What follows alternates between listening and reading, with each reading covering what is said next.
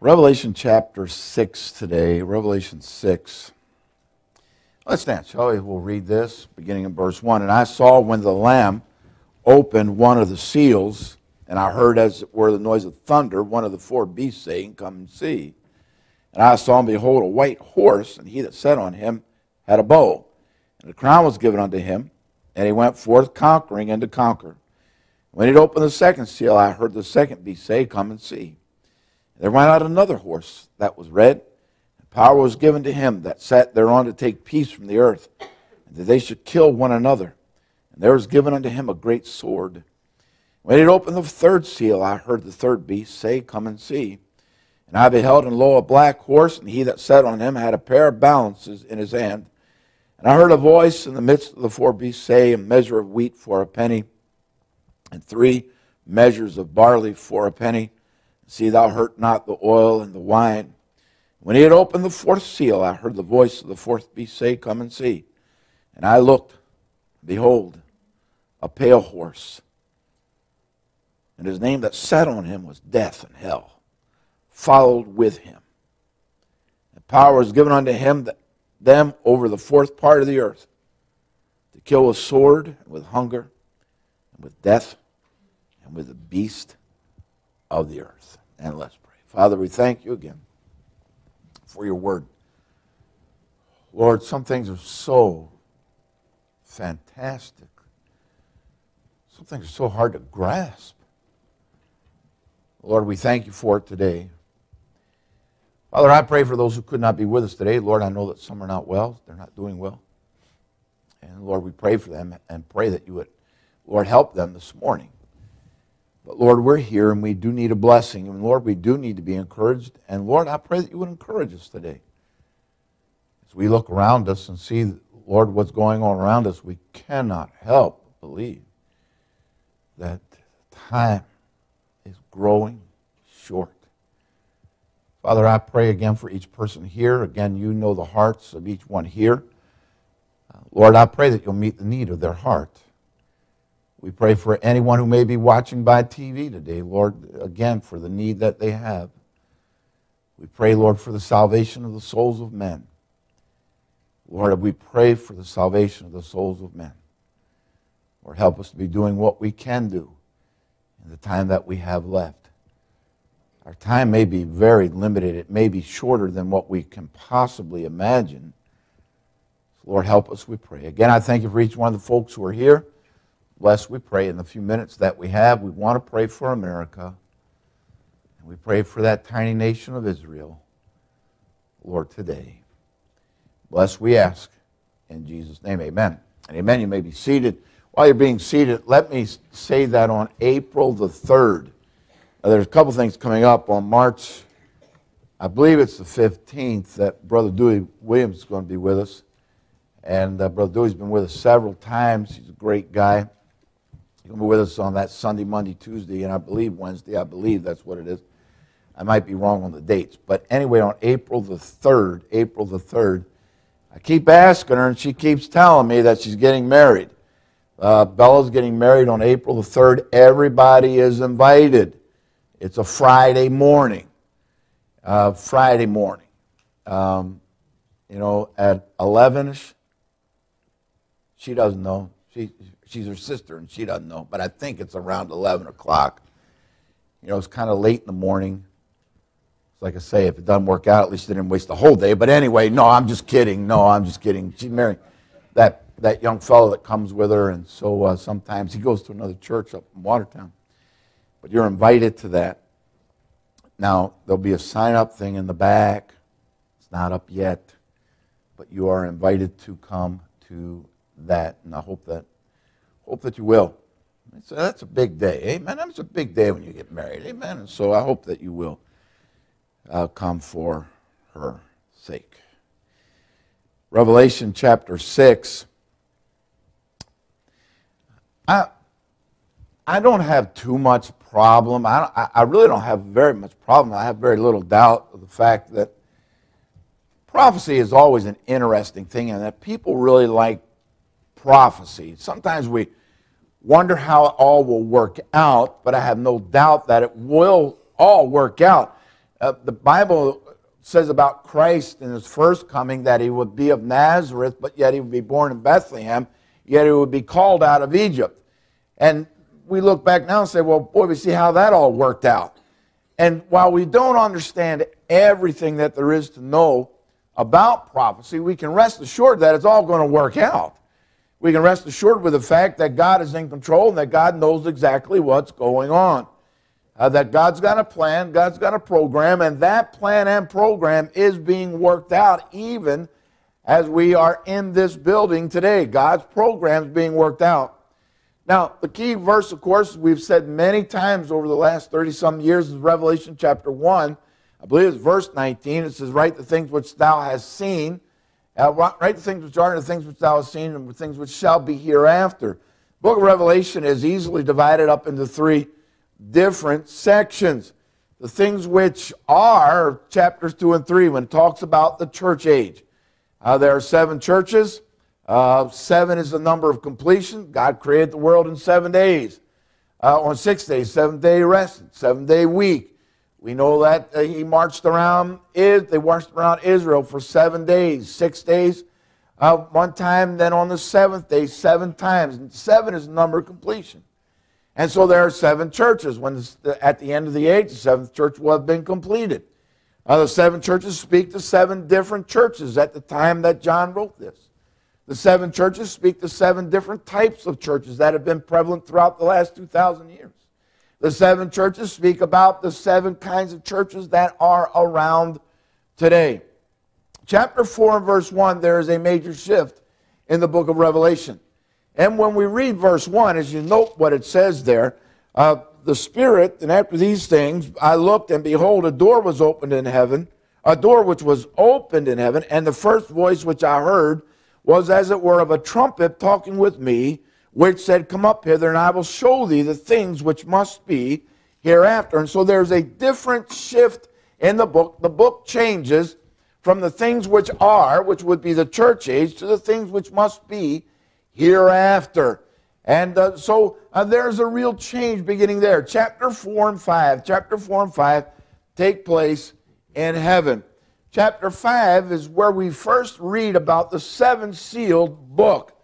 And John says, and uh, who, it was asked, well, who is worthy to open the book? And, and no man was found to open the book. And John said, I wept much because there was no man found worthy to open him.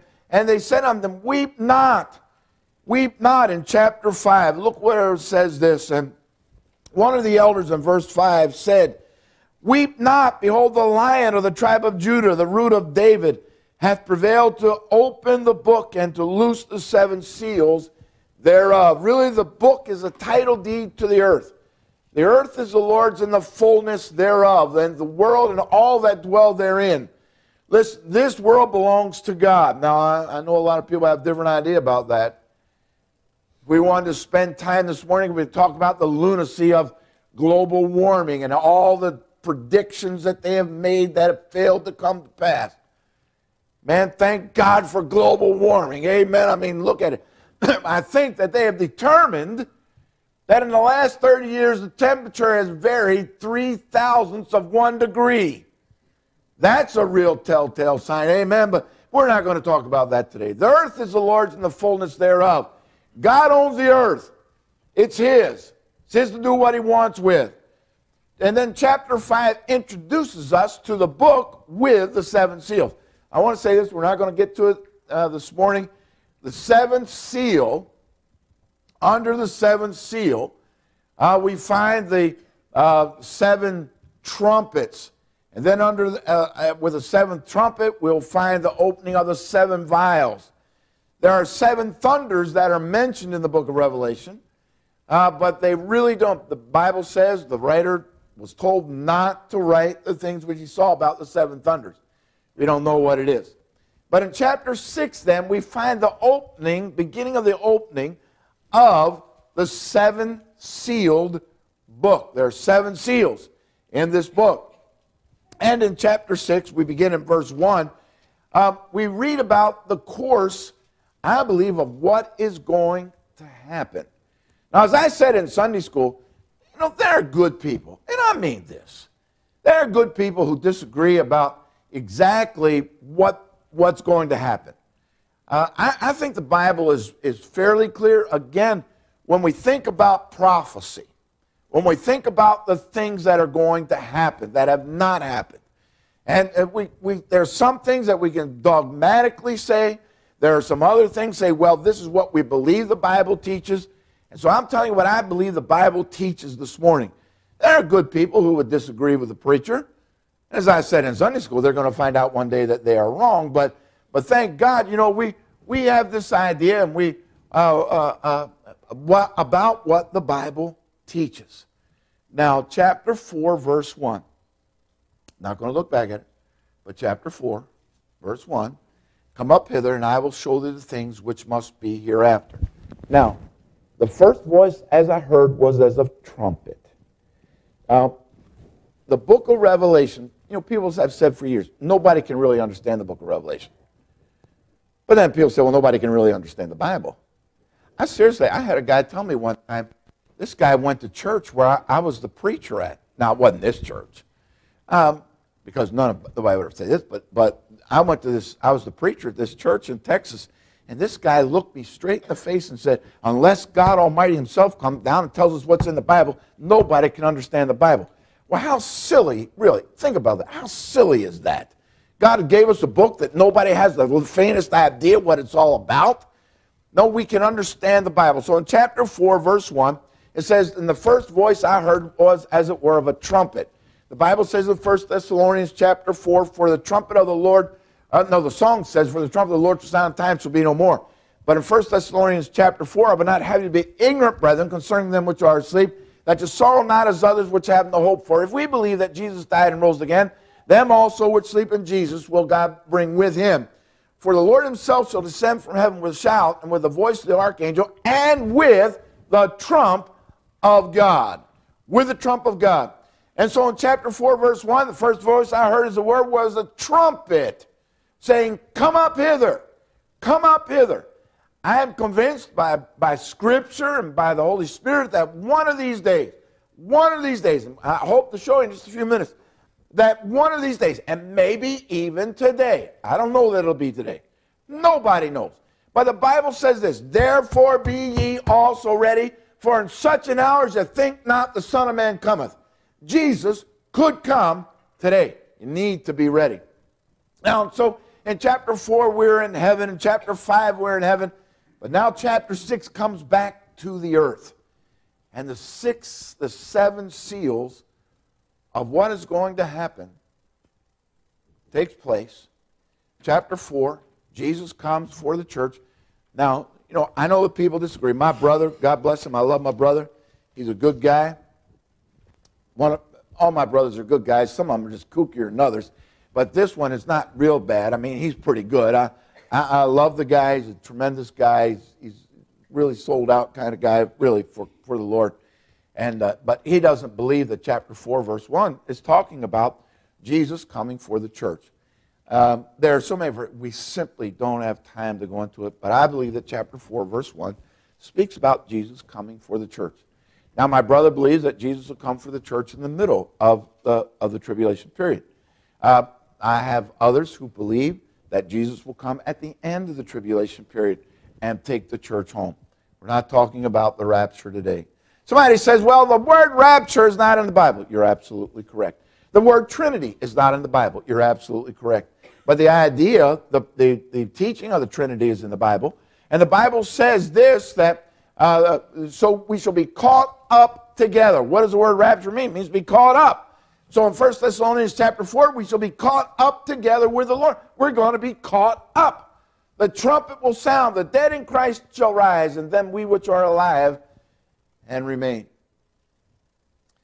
Some people question, and I, and I would also this when Jesus comes for the church, when he comes for the church, will the Great Tribulation begin immediately? Will the Great Tribulation period begin immediately?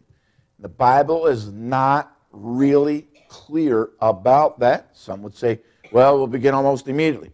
You stop and think about this. Stop and think about this for a moment. It, when Jesus comes, not if he comes. Folks, this is not a question of if Jesus is coming again. The, the, the truth is that Jesus will come again. When Jesus comes and takes all the Christians out, I mean, he takes them all out. And there are countless scores of, of scores and hundreds and thousands and tens of thousands and hundreds of thousands. Maybe we even say millions of people have been saved and born again and washed in the blood of the Lamb that are going to be caught out and we are going to go up to heaven with him. When that happens, there's going to be a there's going to be a problem down here. There's going to be a lot of people missing. I've read this. I don't know whether it's true or not. I mean, you can read almost anything. The New York Times already has the headline printed millions missing. And that may be true. It may not be true. I don't know. You read all kinds of things. I, I've read this, that, and I've heard this, that they are cutting the stones uh, for the new temple in Indiana. Why would they cut stones for the temple in Indiana when they've got all kinds of rocks over in Israel? I mean, you can read almost anything. So we're back in chapter 6 and verse 1. What is going to happen? What will happen? What will happen? Well, after the church is taken out, and as you read chapters 2 and 3, you find the word church mentioned over and over and over and over. After chapter 3, the church is not mentioned any longer. Something happened to the church, church is gone, taken out. You don't find it mentioned any longer after that. The Great Tribulation at some point, the Great Tribulation at some point will begin, whether it will begin immediately after the church is taken out, whether it be a period of months, whether it be a period of, of several years. Um, the Bible's not clear. But in chapter 6, beginning in chapter 6 of Revelation, I'm going to I'm going to finish the sentence. In chapters 2 and 3, we're here on the earth. Chapter 4 and 5, we're in heaven. Chapter 6, we come back to the earth as you read through the book beginning in chapter 6, we find, the, we find given in some detail and some not so detail about what is going to happen during the great tribulation period here on this earth. Chapter 6 and verse 1. And I saw, and I saw when the Lamb. Now you'll notice in chapter 5, he's called the Lion of the tribe of Judah. Here in chapter 6, verse 1, and I saw when the Lamb opened one of the seals. And I heard, as it were, the noise of thunder. Thunder. Usually, before the storm gets here, you hear thunder. So when we say, well, uh, Jesus said, uh, this is the beginning of sorrows in Matthew chapter 24. I heard, as it were, thunder, that, that the storm is coming. There is a storm coming. And we look around the world today. I mean, we, you just look around the world and all that is going on in the world today. I mean, we live in a wicked, ungodly world. Uh, this ISIS outfit over there, and uh, uh, ISIS, the Islamic State in Syria, um, uh, that's what it is. And and uh, there are there are all kinds of names we could call those guys. But we dare not call them Islamic terrorists. But that's exactly what they are. It's not the Methodists that are doing this. It's not the Catholics. It's not the Presbyterians. It's not the Baptists. It's the Islamics. I saw on the news this morning. Uh, you may remember, I was over in Indonesia that they, they uh, killed 60 some people in a mall in uh, Indonesia, big mall. Now, now the big threat is the Mall of America in, in, in Minnesota. They've said they're going to attack the Mall of America in Minnesota.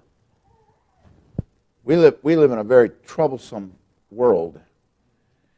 I heard thunder. I hear the thunder in the distance. Storm's coming. It's a great storm. Jump back quickly. Hold your place right there because we'll be back. Look back at Matthew chapter 24. Matthew chapter 24. Here's what Jesus says in Matthew chapter 24 about this coming storm. Matthew 24 and verse 21.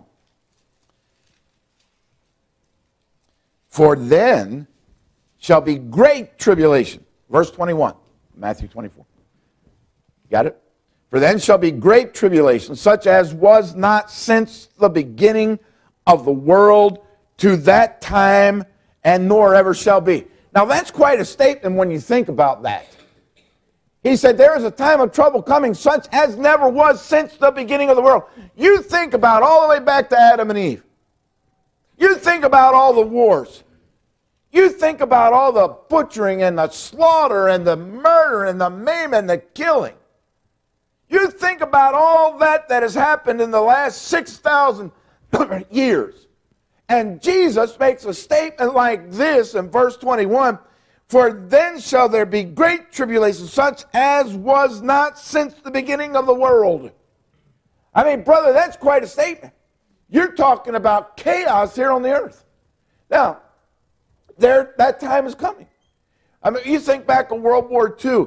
I, I, you know, some of you were around during World War II.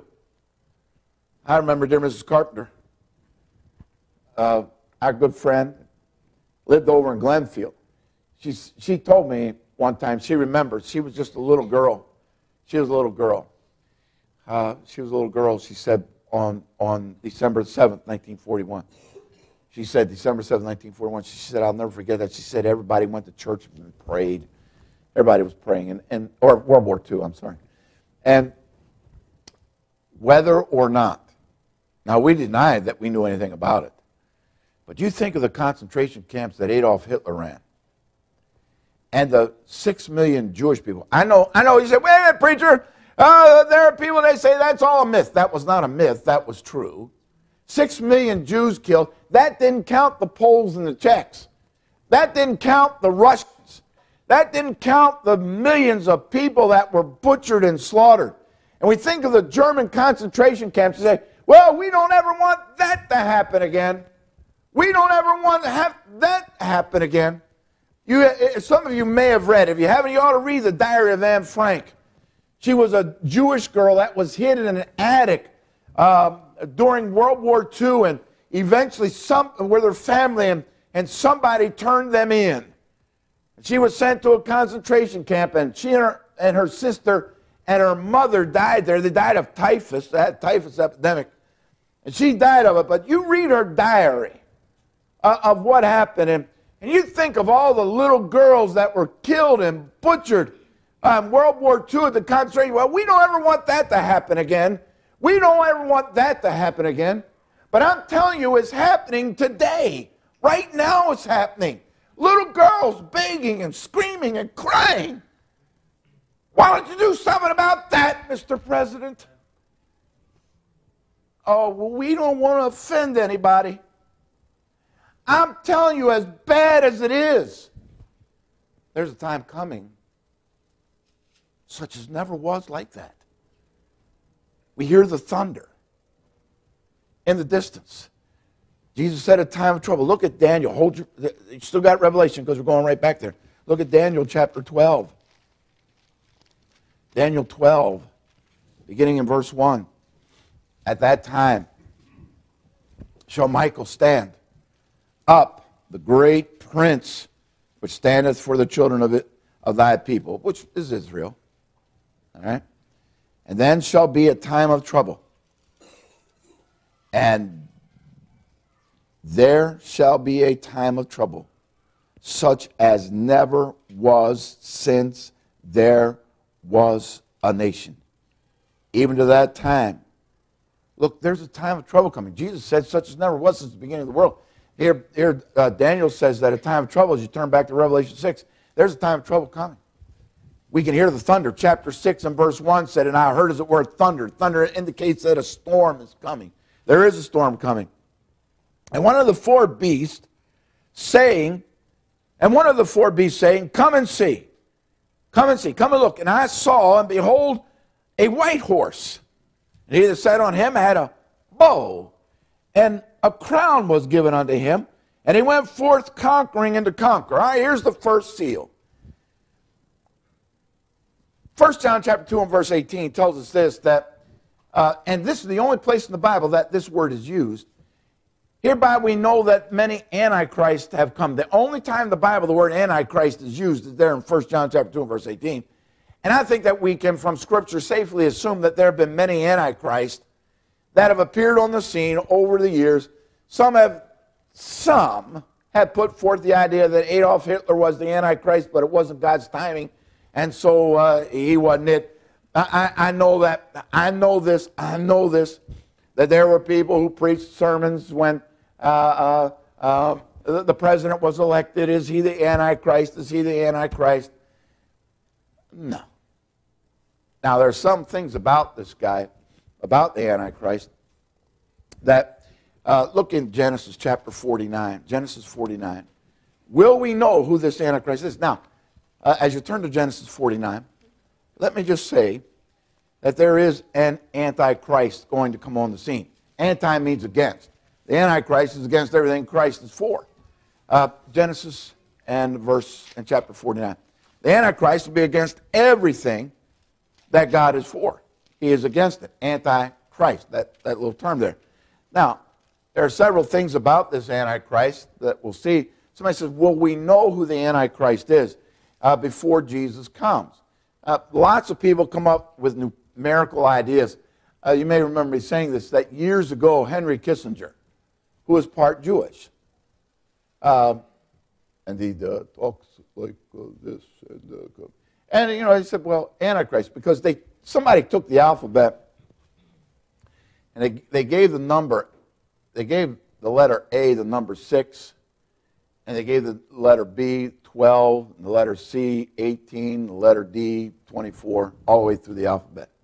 Then they took Kissinger's name, added up all the letters in his name, and it came out to 666. And somebody said, well, there, Kissinger is the Antichrist. Kissinger wasn't the Antichrist. He isn't the Antichrist. Somebody said, well, will we know anything about the Antichrist? In Genesis chapter 49 and about verse 16, when Jacob is, is blessing his children, he says this in verse uh, 16, Genesis 49, verse 16 Dan shall judge his people as one of the tribes of Israel. Now, I think that it's important to note that in Revelation chapter 7 and Revelation chapter 14, when it lists the 12 tribes of Israel, Dan is not mentioned. Here in verse 16, it says, Dan shall judge. Dan shall be a serpent. Well, who's that old serpent? Well, that's the devil. Dan shall be a serpent. Um, lost my place. Dan shall be a serpent by the way, an adder in the path that biteth the horse's heel so that his rider shall fall backwards. Many believe that this is the idea that Dan, that Dan, the Antichrist will come out of the tribe of Dan. Look over Gen, or Daniel chapter 9. Daniel chapter 9. Daniel chapter 9, verse 26. Will we know who the Antichrist is? Will we know who the Antichrist Now, I want to say some more things from chapter 6 and verse 1 of Revelation just a minute about this guy. But in Daniel chapter 9 and verse 26, here's a great prophecy. Now, some have suggested that the Antichrist will be at least part Jewish. I mean, I don't have any problem with that. Verse 26 And after three score and two weeks shall Messiah be cut off, but not for himself, and the people of the prince that shall uh, destroy the city and the sanctuary and the end thereof. Oh, wait a minute. In 70 AD, who destroyed the temple? Well, that was the Roman Empire. So some, most people believe this that the Antichrist will come out of the old Roman Empire and be Jewish. So, well, how can that possibly be? Well, as I said before, uh, the, the, the Messiah would come out of Bethlehem, of the city of Nazareth, and out of Egypt. He said, well, how did that work out? Well, it worked out just fine. And so the Antichrist will probably, will probably partially Jewish, come out of the Roman Empire. He may even come out of Syria. Um, and you say, well, how can all that work out, preacher? Well, I don't know. But I do know that God will work everything out. He's worked everything out so far. Jump back to John chapter 5. Will the Jewish people accept this person? John chapter 5. Note what it says here. John 5 and verse 43. John 5, verse 43. Let me get to chapter 5. It says this I am come in my Father's name, and ye, and ye receive me not. Now, note what it says. If another shall come in his own name, him he will receive. Seems to be a verse that indicates that the Jewish people will receive the Antichrist as possibly the Messiah. because as you know now, the Jews do not believe that the Messiah has come. They do not believe that Jesus is the Messiah. Jump back to chapter 6. Some other things about the Antichrist. Chapter 6. We're opening the first seal. I hear the sound of thunder. Will we know who the Antichrist is? Probably not. The Bible makes it very clear in First or First Second Thessalonians. I'll get it right. And chapter two, Second Thessalonians chapter two.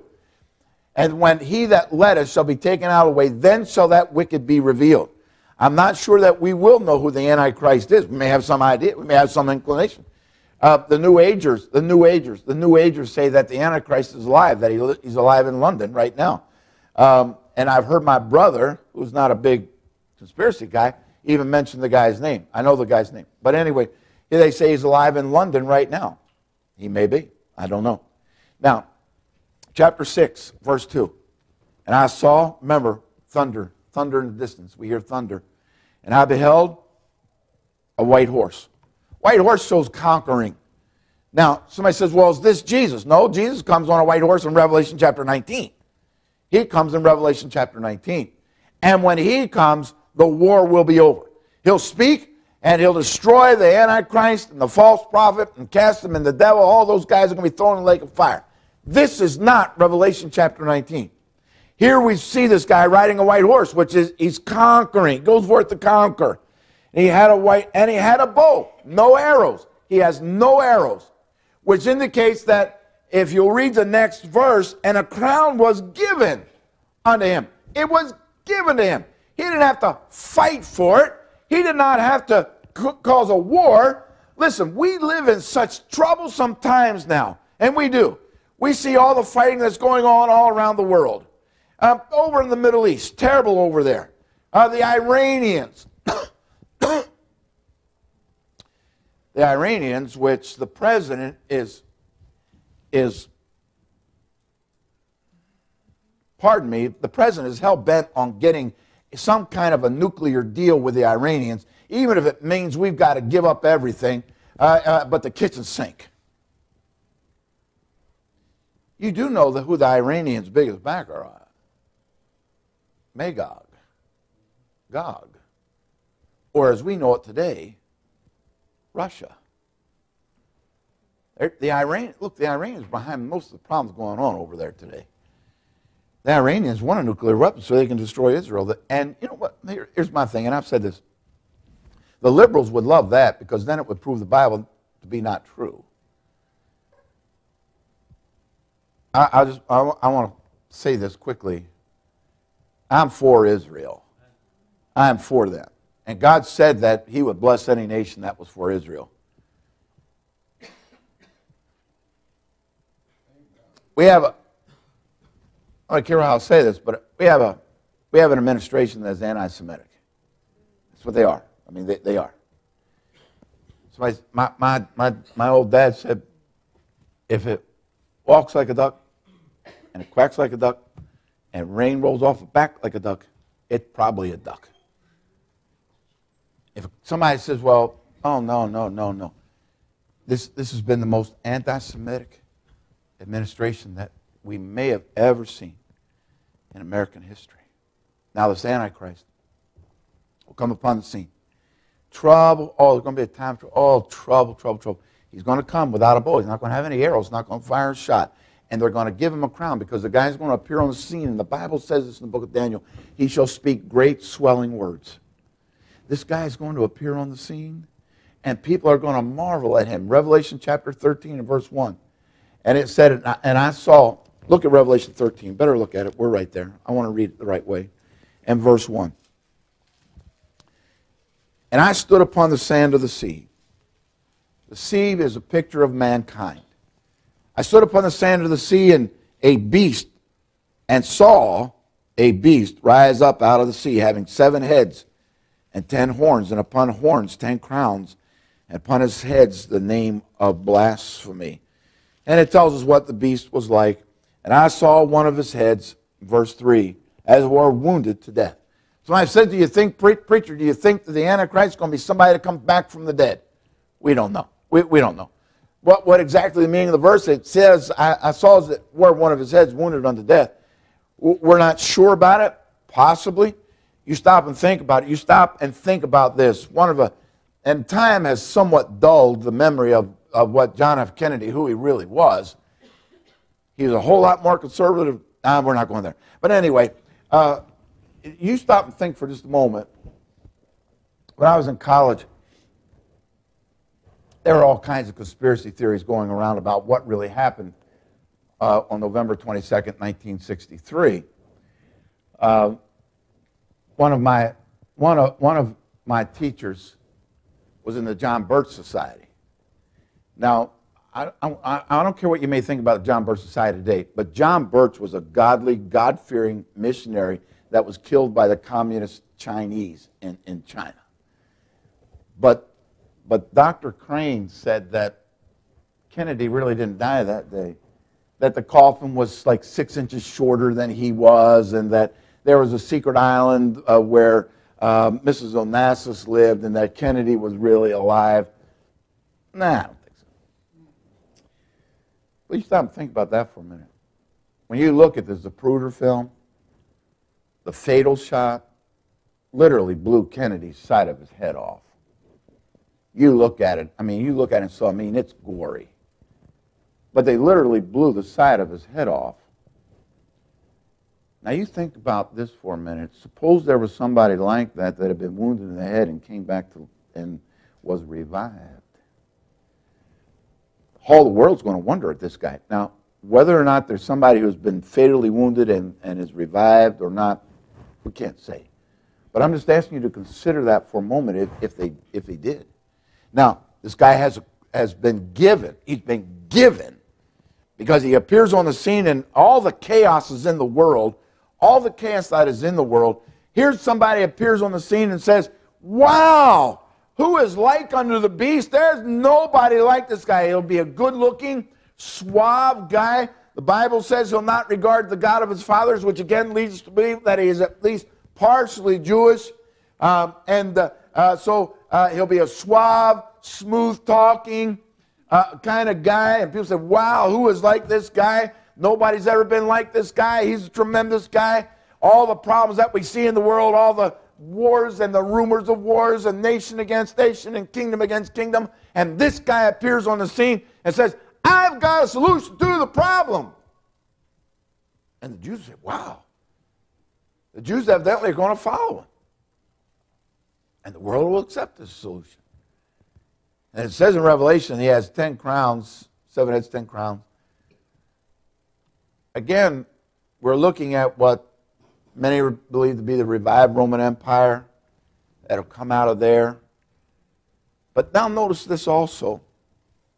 Crown was given unto him, and he went forth conquering.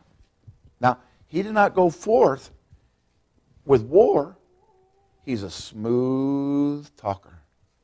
And all the world's going to wonder after him. And people are finally, remember the Antichrist is against Christ.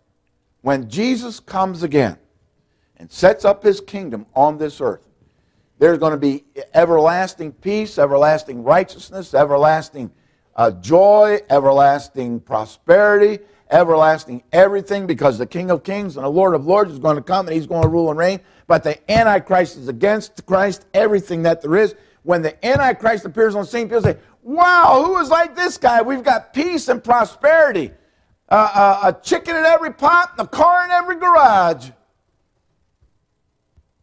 And for three and a half years, it's going to look like, wow, heaven has come to earth.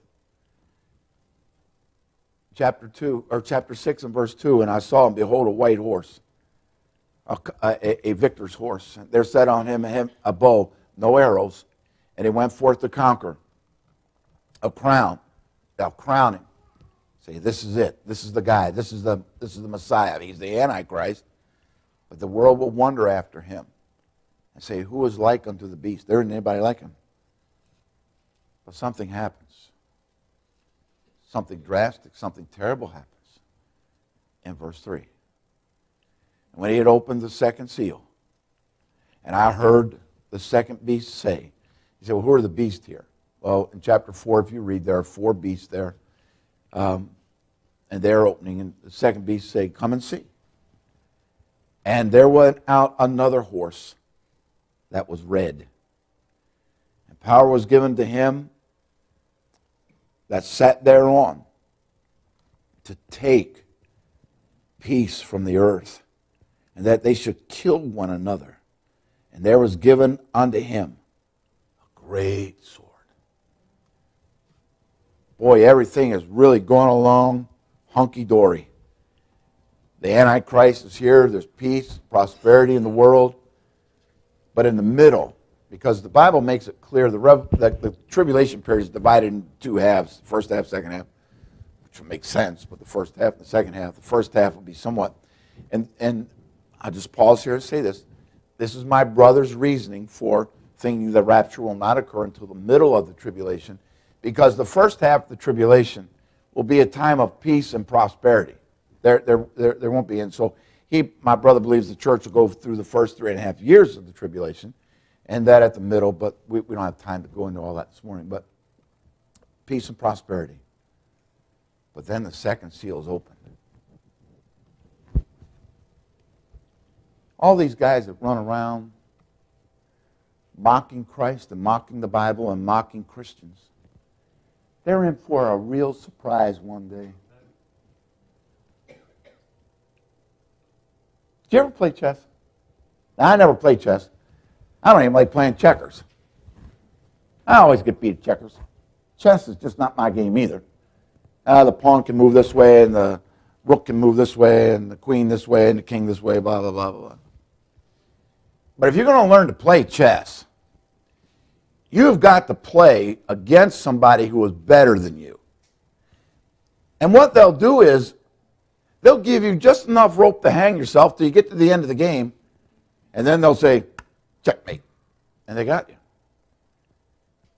God's given the world just enough rope to hang themselves.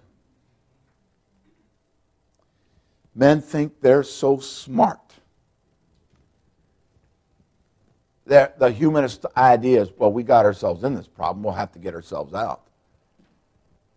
I, I say again, there is no solution but God. He, he is the only solution to the problem. Now, in the middle of the seven year tribulation period, in the middle of it, the second seal will be open.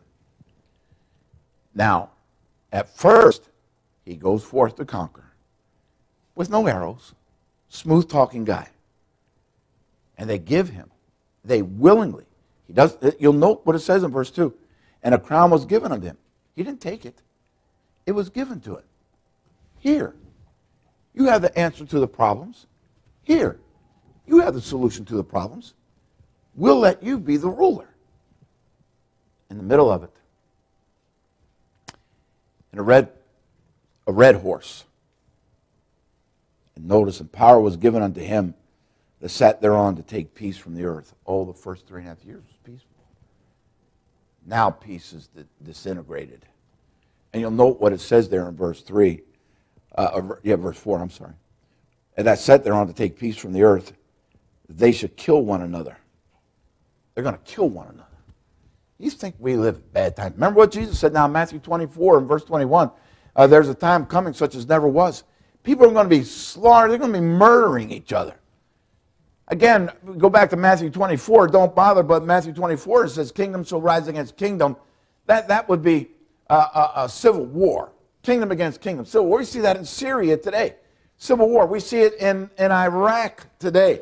Uh, there's a civil war going on in Iraq. Afghanistan, civil war going on over there. Uh, kingdom against nation against nation. That's Iran trying to take over the entire Middle East. Uh, that's Iran saying we'll destroy Israel. Uh, that's Iran giving out uh, Hezbollah and Hamas and, and all these others, uh, where nation will, will fight against nation peace will be taken from the earth. Be wholesale slaughter time when the second seal is open. First seal, oh, great peace. Oh, prosperity. Everybody's happy. But God has given people just in the world, God has given the world just enough rope to hang itself. The world follows after the Antichrist, which is against Christ, and they're following him. Remember now, thunder we hear the thunder in the distance. The storm is coming. We hear the thunder. The storm is coming. Now, notice verse 5, because we're going to run out of time. And when he had opened the third seal, I heard the third beast say, Come and see. And I beheld, and let me read that again. And I beheld, and lo, a black horse. And he that sat on him had a pair of balances in his hand. And I heard a voice in the midst of the four beasts say, A measure of wheat for a penny, and three measures of barley for a penny. See thou hurt not the oil and the wine. So now peace is taken from the earth. First, there's real peace and prosperity. Now peace is taken from the earth when the red seal is open. And the red or the second seal is open and the red horse goes out, and power is given to the red horse rider, the red rider, to take peace from the earth. They're now killing themselves. And after killing themselves, and there are wars and rumors of wars, and nation against nation and kingdom against kingdom, and they're butchering and slaughtering each other. Well, the natural thing to follow was this famine. So in verse 5 and 6, when the third seal is opened and the uh, black rider uh, on that horse goes out, and it says a pair of balances in our uh, voice saying a, a measure of wheat for a penny. The measure is about a liter. That's how much it was, a liter.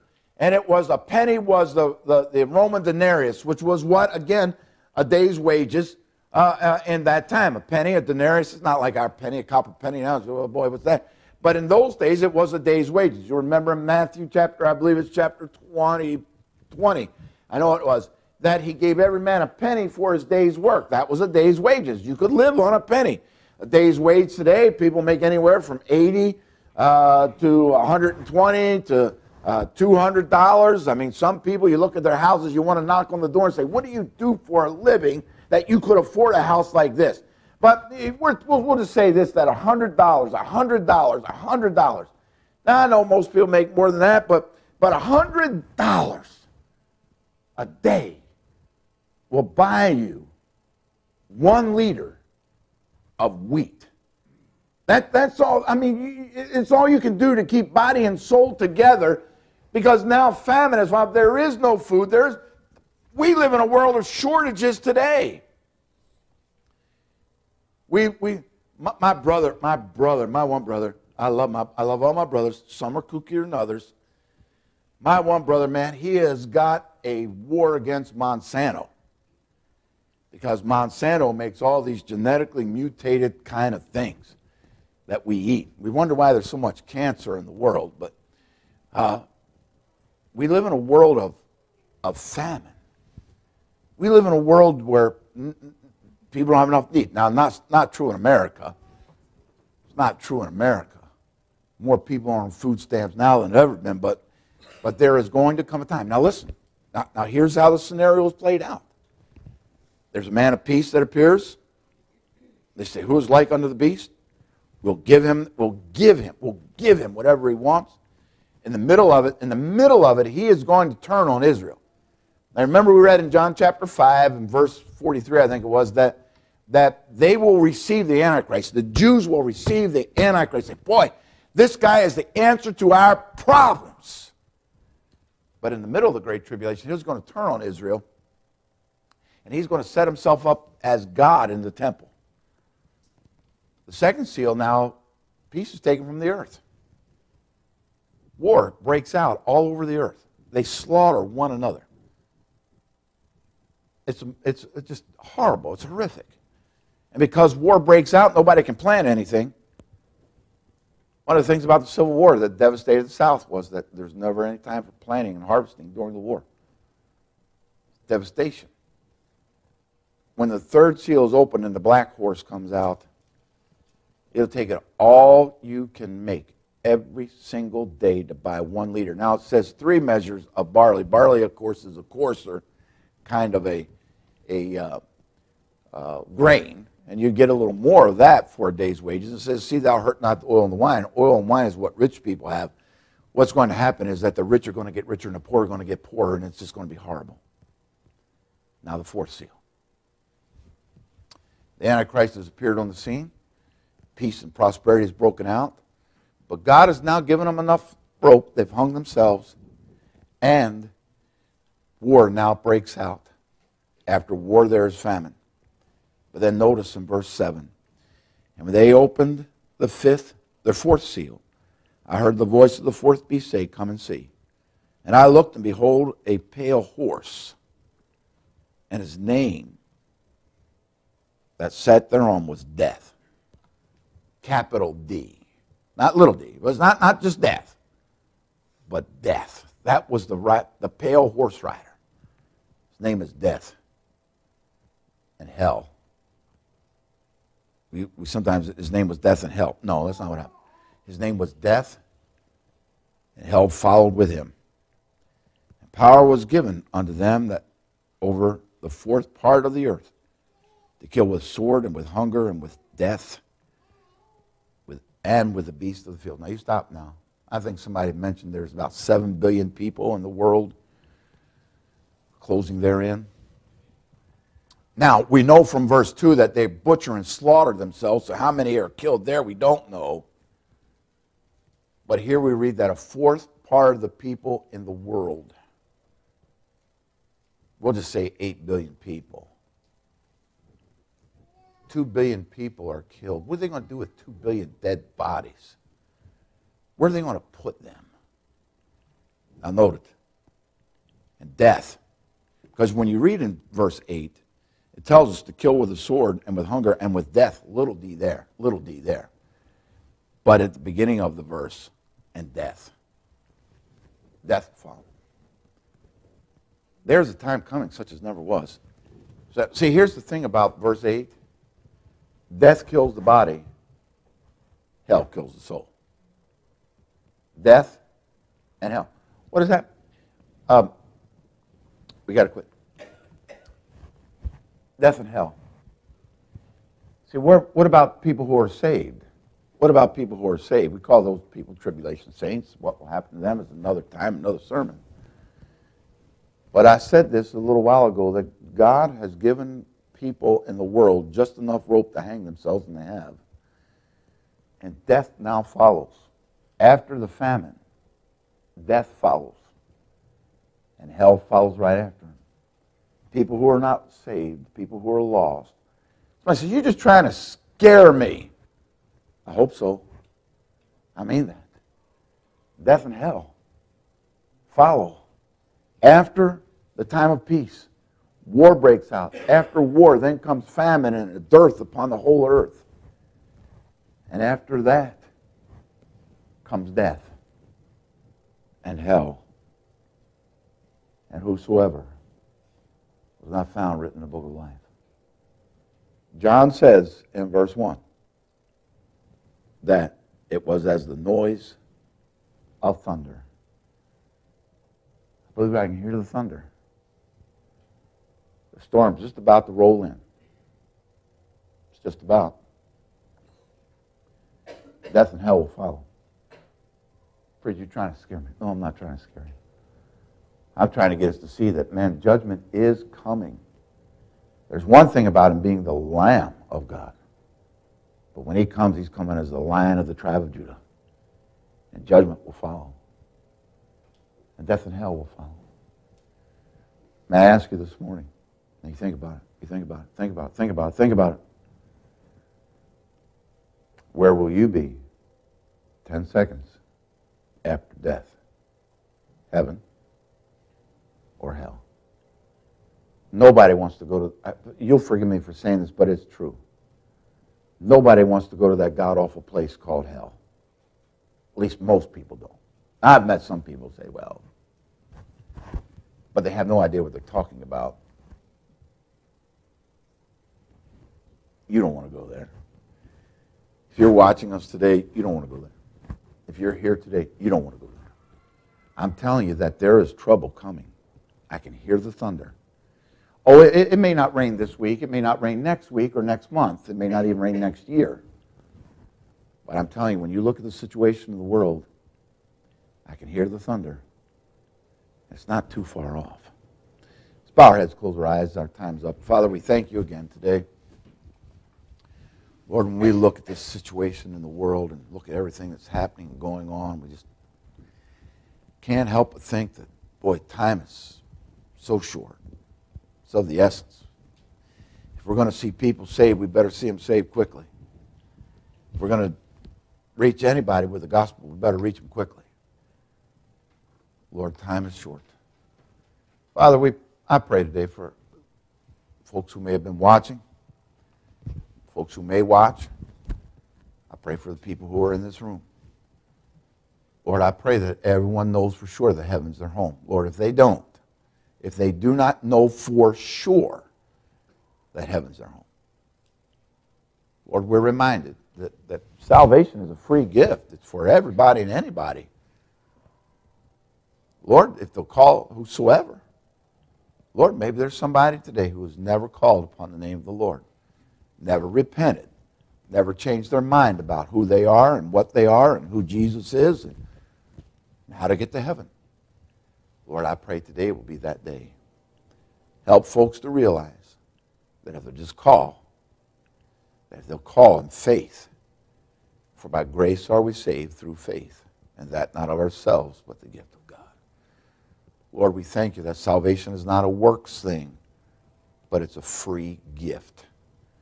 Lord, you make that clear. It's a free gift in Romans, Lord. But we're thankful for that. Our heads are bowed, our eyes are closed. Nobody looking. Nobody is looking. Nobody is looking. Nobody.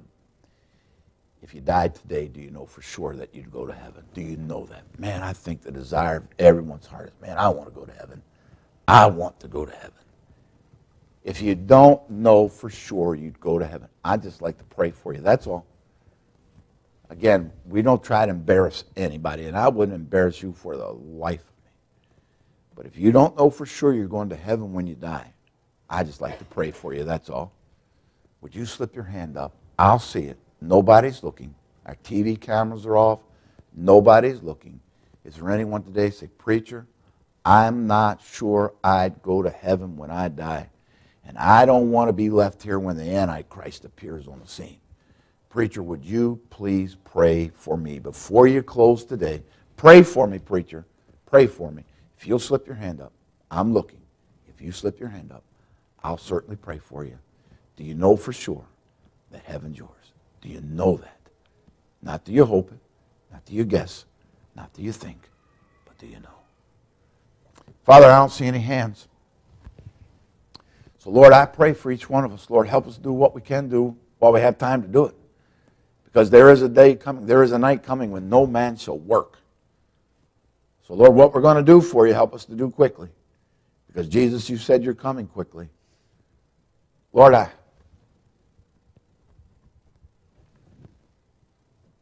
think of, Lord, the Good Samaritan. You gave enough for two days. You've been gone for two days. The wedding feast at Cana was three days.